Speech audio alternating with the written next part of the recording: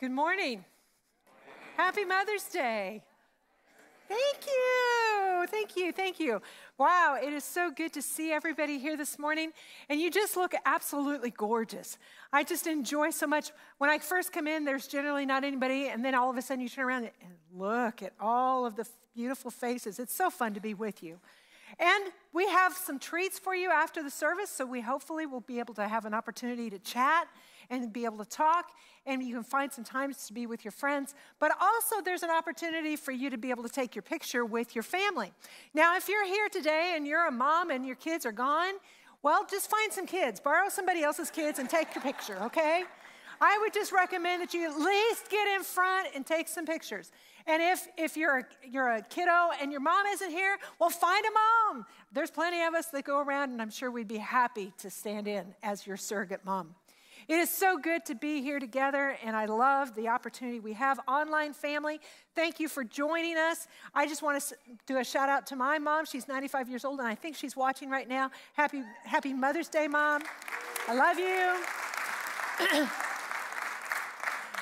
My 95 year old mom has been praying me through life, and she hasn't stopped, and so I'm very thankful for that. There is a woman that I would like to just uh, give you a little bit of a story about her background. Her name is Emma Jane, and she raised four children as a widow during the Depression. And of those four children, there was one that in particular was, he was a rather cantankerous kid. He uh, had challenges and he walked a life that was very, very hard. Emma Jane had prayed her family through life. She prayed food onto the porch step, literally when there wasn't any food to be had during that time of depression. And in those moments, she prayed for her kids and she prayed that they would come to know the Lord. Well, unfortunately, as she was on her deathbed, every single one of those kids wasn't following the Lord. They hadn't turned to him yet, they hadn't been following him yet. And Emma Jane, she gets a hold of the youngest son and she pulls him down by the collar. She's on her deathbed and she pulls him down and she says, real close, she gets eye to eye with him and she says, You know where I'm going. And you know what you have to do if you ever want to see me again. And with that, she passed on. It took years for this young man, years for him to turn. He had everything going on in his life from, from alcohol to smoking to profanity to lust. He cheated on his wife, he had a child. And at the age of 40, he was diagnosed with leukemia and he was told he had very, very little time to live. In that moment, he went to what we call revivals. Does anybody know what revival is? Ah, there's a few of us. Let me explain to you. Revivals are those meetings that go on at nights, it can be at churches, and they would bring in an evangelist, someone who would speak the gospel with the intent of helping people find Jesus Christ as Lord and Savior. And they would go on sometimes for weeks, weeks and weeks. This gentleman, this young man, he showed up and he walked the aisle because he knew he was dying. That young man at 40 who was headed towards death, left all of his life behind, the, the lust and everything behind, and he was healed in the name of Jesus. And he walked his journey from that point forward, following and serving the Lord. His name was George Kikasola. And I lived across the street from George. And George and Margaret had a home where they literally had a revolving door. From 5:30 in the morning to sometimes 10 o'clock at night, people would walk through their door to receive prayer and to receive the truth that God had for them. That's who George was. George was married to Margaret. This was his second wife, and Margaret was what I would call a little bit crunchy. What I mean by that is she was a little rough around the edges. She had been a stockbroker. And as a stockbroker in the early days, as a, as a woman, that was a hard place to be. That was a hard environment. And she hadn't been following the Lord either, but she had just received Christ. She and George married. And then all of a sudden, under the tutelage of George, she became a woman that was soft, malleable in the hands of God. And she began to pray for people. This is my heritage. My heritage of following the Lord comes from my biological family, yes.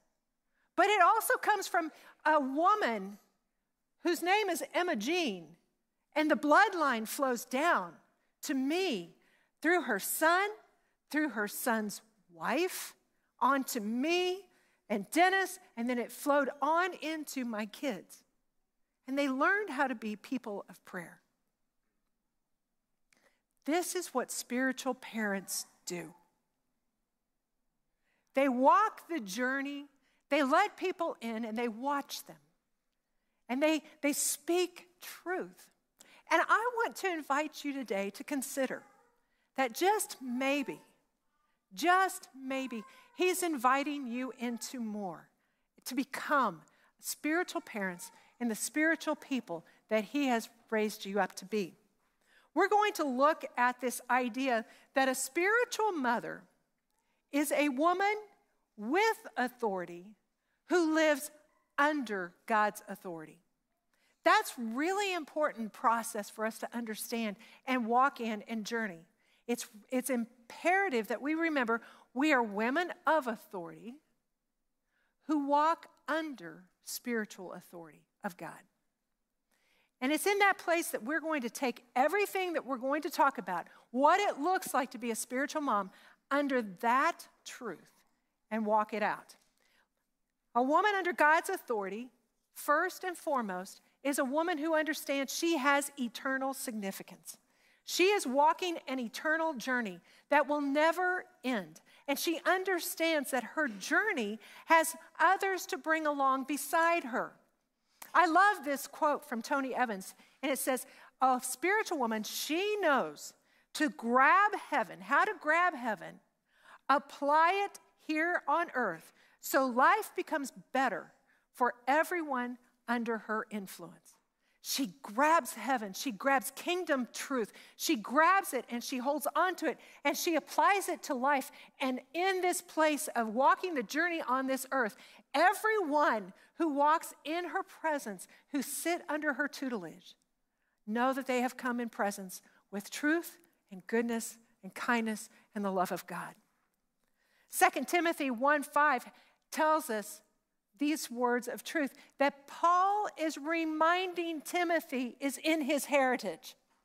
Paul is reminding Timothy of the truth of all that has been given to him through two very important women. So before we go on, I want to remind you as a woman, you have the capacity to speak good truth into the hearts and lives of sons. Do not go and abdicate your role just because you're a woman. Do not abdicate your role to speak truth into the hearts and lives of women. Because there are two women that we see that were absolutely imperative. And interestingly enough, we never see dad mentioned. 2 Timothy 1 5, and it says this When I call to remembrance the genuine faith that is in you, Timothy, which dwelt first in your grandmother Lois and your mother Eunice, I am persuaded it also dwells within you. There was a genuine faith that Lois and Eunice made certain was going to carry out and be carried through to this young man named Timothy.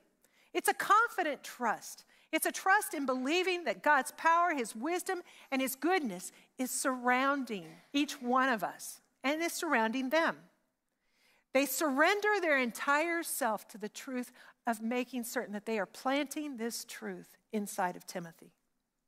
Timothy did not come to genuine faith other than by accident. He didn't come by accident, but he came through the grandmother and a mom who engaged, were committed, faithful, and intentional in making certain Timothy knew whose he was in the Lord.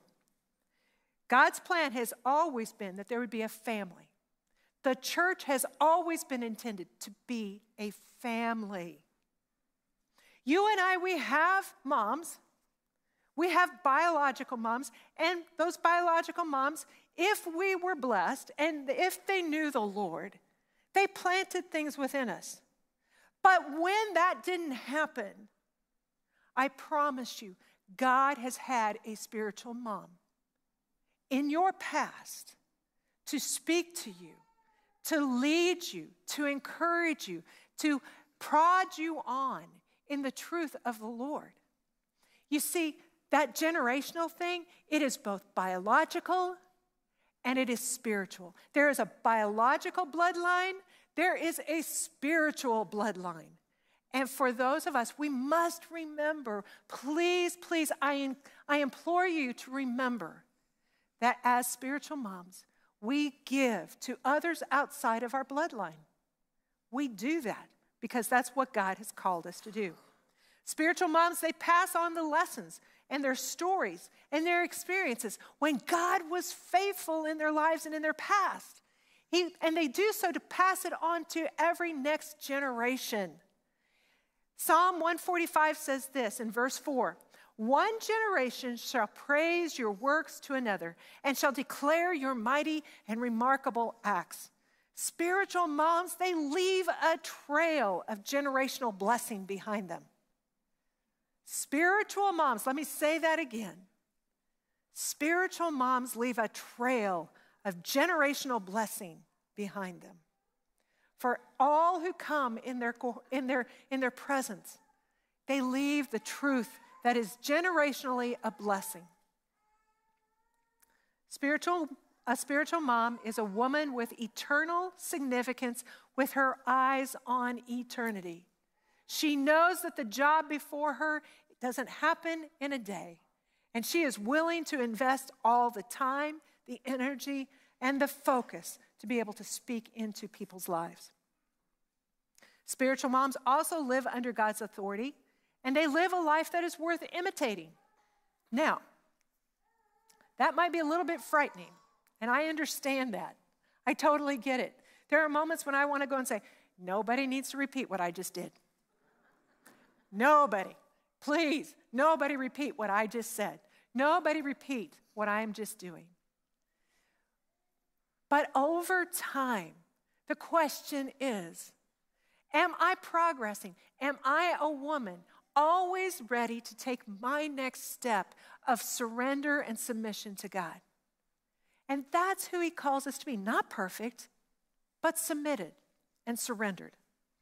I like what it says in 1 Corinthians 4 14 through 17. It says, I do not write these things to shame you, but as my beloved children, I warn you, this is Paul. I want to remind you, this is Paul speaking to the Corinthian church. For though you might have 10,000 instructors in Christ, yet you do not have many fathers. This is a truth that I believe is really imperative for us. And I find it amazing that in a Corinthian church where there's no social media, they had 10,000 teachers. Lots of people telling you how to do your stuff, a ton of them. And today in our society, we have hundreds of teachers. And they get on social media and they have their platforms. They call themselves influencers. And they have the capacity to speak to us. They're celebrity Christians these days. And there's nothing wrong with the truth that they're, they're bringing. But Paul wants us to understand we could have thousands upon thousands of teachers and never have spiritual mom. And there would be a void in our life because someone isn't speaking face to face, eye to eye, truth to truth. Because we can hide from a thousand instructors, but we don't hide from spiritual parents, and especially from a spiritual mom. So it's really, really true and important that we find those spiritual moms for ourselves. And let's go on in that scripture. It says, For in Christ Jesus I have begotten you through the gospel. In other words, Paul is saying, I gave birth to what has started in this church. Therefore, I urge you, and he says these words imitate me. Imitate me. Paul must have had an incredible confidence as he has submitted time and time and time again to the Lord to be able to say, For the good things you see in my life, imitate those. For the things when you see something good that is being grown inside of me, remember that's not my flesh, that's not my capability, but that's the Father and that's the Lord and that is our Holy Spirit and He is at work within me. That you can trust. Imitate that in me. Imitate me. For this reason, I have sent Timothy to you, who is my beloved and faithful son to the Lord, who will remind you of the ways of Christ as I teach everywhere in every church. Spiritual moms disciple other women. They are a powerhouse of truth. They are a powerhouse under the complete and perfect control of God Himself. They know that they have a power that is under His control, and they impart a faith that is motivated by sacrificial love. They give themselves up for the ones that they love and they care for. Margaret George's wife, she was one of those women that imparted her truth into me. I can't tell you how many times over the course of ministry I was about ready to quit. I was about ready to walk away. And the Lord would prompt me and remind me call Margaret. Call Margaret. Kathy, call Margaret. Mother Margaret became that woman for me. And she would say the hard things to me. She's, she called me out on my, on my stuff. She really did. I love this story about Margaret. She was, she was sitting in the front row of the church where she had attended church. And there was a gentleman that was getting ready to become the pastor of that church, which was a good friend of ours here from Wichita, and he was headed to Florida.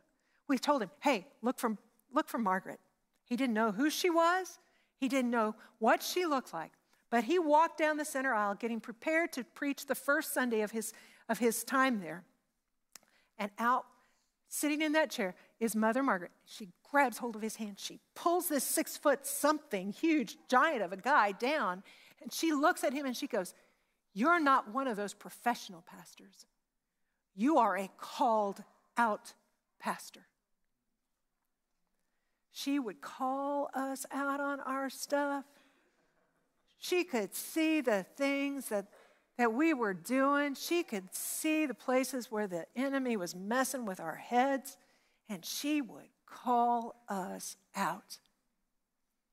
But I say that to say, she loved me enough to do it. The love that the Lord had, had put within her for people was absolutely imperative for the hard things she had to say. As a woman under God's authority, we must know our mission. Matthew 18 or 28 verses 18 through 20 is the mission of Jesus Christ, and it was for all women. And it says this Jesus came up and said to them, All authority, all power of absolute rule in heaven and on earth has been given to me. Go therefore and make disciples of all nations. Help the people learn of me. Help them to believe in me. Help them to obey my words, baptizing them in the name of the Father, the Son, and the Holy Spirit, and teaching them to observe everything that I have commanded you. And lo, I am with you always, remaining with you forever, perpetually, regardless of the circumstances you may find yourself in, and on every occasion, even to the end of the age. Spiritual moms fight the deconstruction of faith in our time. There is a deconstruction of faith upon our young people. The enemy is out to deconstruct their faith. He is placing doubts, he is placing um, evil things before them. And a spiritual mom is out to fight the battle over your kids' faith. We know that our job is to, is to pray them through. We know that our job is to speak the truth. We know that our job is to follow Him with everything within us. And while the, the church seems to be losing our young people, I promise you, there are young people in our midst who want the truth and who need you. They are desiring to have women speak into their lives, both young men and young women. There is more than what we can do. And it is time we all stand up and step in. It is time. We need you. You are not too young, nor are you too old to stand into the truth and the place of being a spiritual mom. So let's do this. Let's fight this, this battle and this journey that the enemy has put into it, into this day and age. A spiritual mom, she stays in step with the Holy Spirit. That means she walks at times, that means she runs at times, that means she stands still at times. Because she is going to walk as fast as the Spirit leads. She's going to run as long as the Spirit is leading her. And when the Lord says, stop and wait, she will stop and wait. Because she has heard the voice of the Savior, she has heard the Holy Spirit speak. Galatians 5 25 says this If we claim to live by the Holy Spirit, in other words, if we're claiming to walk and live by the Holy Spirit in all that He is saying to us, we must also walk by His Spirit with personal integrity, godly character, a moral courage, and our conduct that is empowered by the Holy Spirit. I don't know about you, but I'm not strong enough to do that on my own. I ain't got what it takes. I don't have it. I am not capable of walking in godly character unless it's empowered by the Holy Spirit. And we all need Him. We must be faithful to God's word, living in this foundational truth in these ever changing and turbulent times. I promise you, the things that you thought would never change will anything on this earth, the things that you thought would never change, they will. But I promise you, God never will change. He is always faithful, and He will always lead. He will always carry out His promises in your life. I promise you that when you lean into His word, He will take you through the toil and the turmoil and the turbulent times. A woman who walks in the, in the Spirit is wise. She can, she can know the truth and she can understand the times. She has her eyes on the horizon. She is preparing her household for what is to come because she can see. She knows the truth, she knows the time and she gets ready. She humbly calls you out. She encourages you into the more that God has always had in mind for you to be because she can see it. She doesn't just see the, the stuff, she doesn't just see the challenges, she doesn't just see the things in the flesh. She sees the things that God has spoken over her kids. And she calls them to the better of that. That's who she is. She wrestles with God openly, all the while being very anchored to Christ. She doesn't hide the truth of where she's challenged because she knows that some of the best training we can give our kids is to wrestle in front of them with God's Spirit and power upon her. If we go and pretend that everything is wonderful, we have left our children with no capacity to handle the trials of this world. We must wrestle with truth and in front of and with one another. We must come out of hiding. A hidden woman is not a powerful woman. A woman who stands in the presence of God is powerful. And that's who we are. She's a truth teller. She confesses when she screwed it up, like big time. She confesses when she messed it up. And she seeks for, he, for forgiveness and restoration. As a woman under God's authority, spiritual moms do the will of God. I, I think this is such an important scripture. Matthew 12, 46 through 15, we see Jesus actually talking about who spiritual moms really are. And it goes like this he, While he was still speaking to the people, behold, his mother and brothers, his biological mothers and brothers, they stood outside asking to speak to him. But he replied to the man who told him, Who is my brother? Or who is my mother? And who are my brothers? And stretching out his hands towards his disciples, he said, Here, here are my mother and my brothers. For whoever does the will of my Father in heaven is my brother, my sister, and my mother. These are the people who we have family with.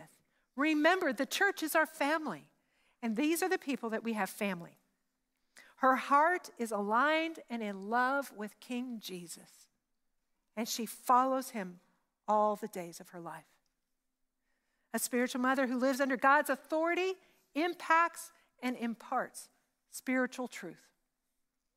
Titus 2 3 through 5 is a great teaching that Paul gives about the church and fathers and mothers. Now, the reason why I'm reading this is because it's really important to understand that the very things that God calls spiritual fathers to are the very things that he also calls spiritual mothers to. So let's read that. Titus 2 1 through 5. But as for you, Paul is saying, teach the things which are in agreement with sound doctrine, things which produce men and women of good character whose lifestyle identifies them as true Christians. Notice I said true Christians,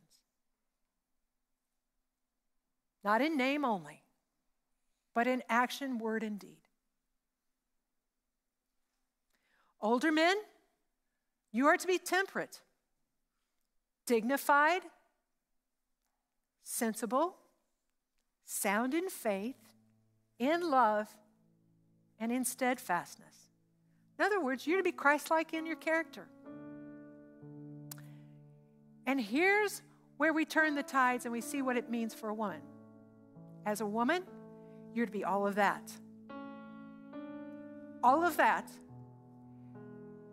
and I have to believe he believed that women could just handle more than men can.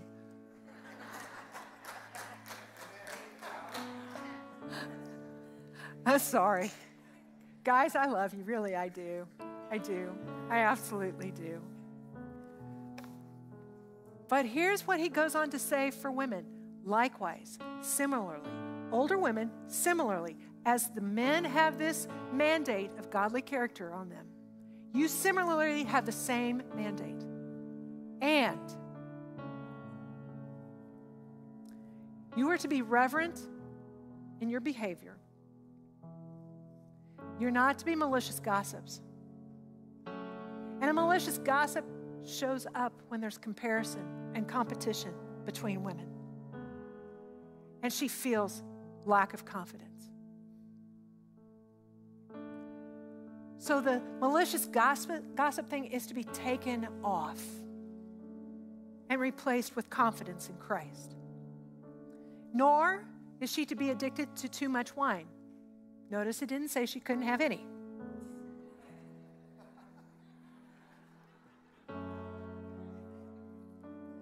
Didn't say that. It just said she couldn't be addicted to too much. Okay? Ladies, you hearing me? Okay. She is to teach what is right and good so that they may encourage the young women to tenderly love their husbands. Not beat their husbands, not tongue lash their husbands, but to tenderly love them.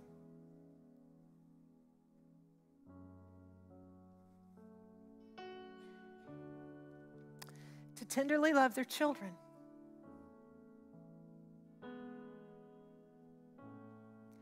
Not beat them up, not tell them all the things that they've done wrong,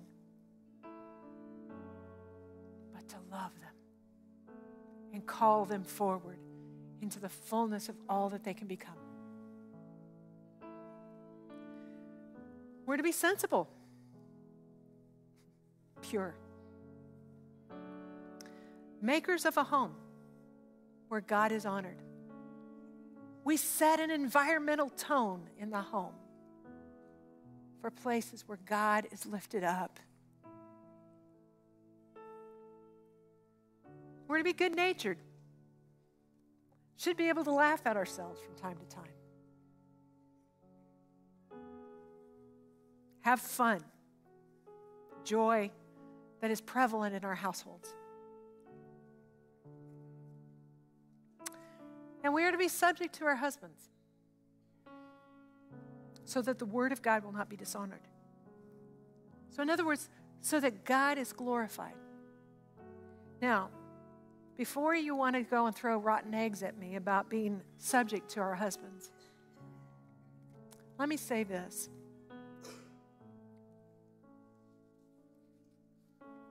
When a woman is under God's authority,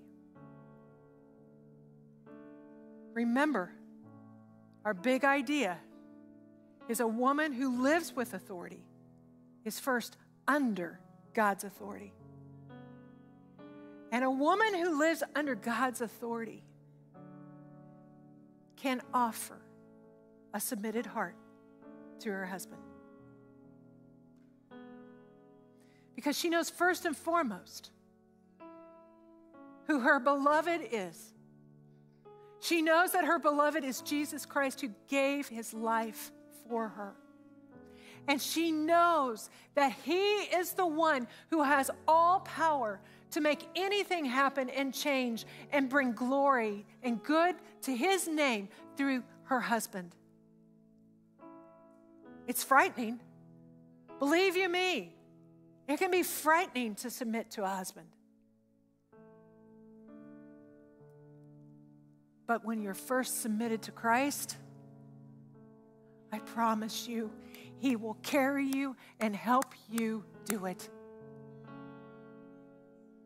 I promise you.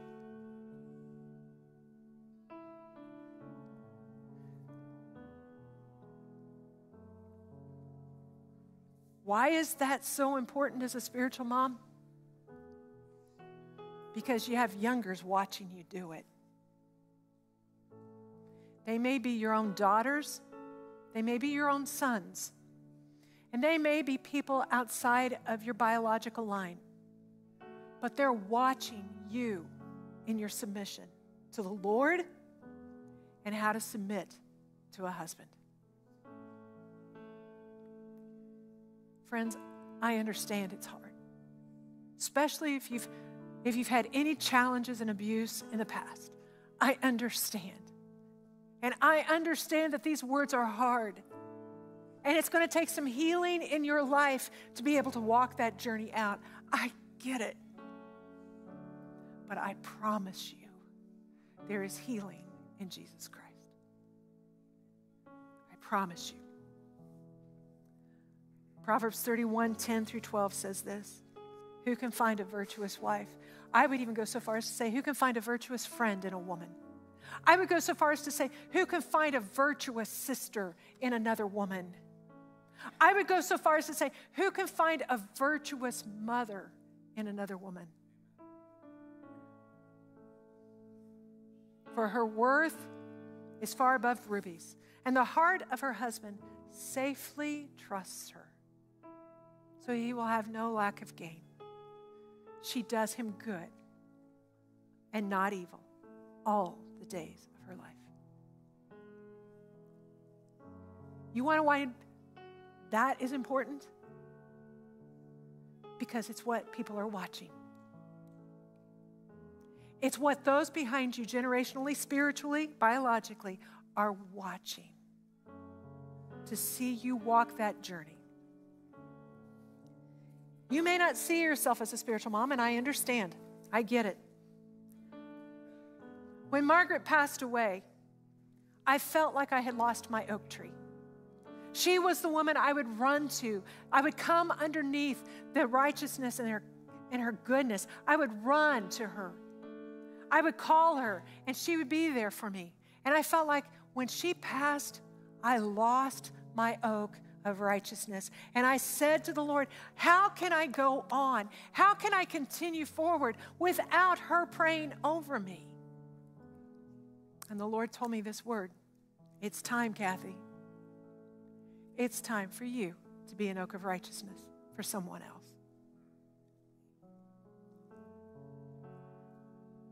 So, how do we do it?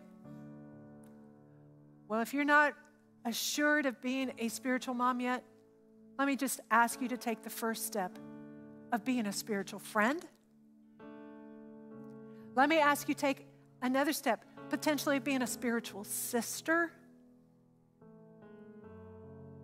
And as you take it step by step by step, and you submit day by day by day to the truth of God, and you and you grab hold of the word and you pray and you receive the empowerment of the Holy Spirit, I promise you there will come a day, you may not even know when the transition happened, but you will stand and you will see a wake of blessing behind you because you stood in the truth.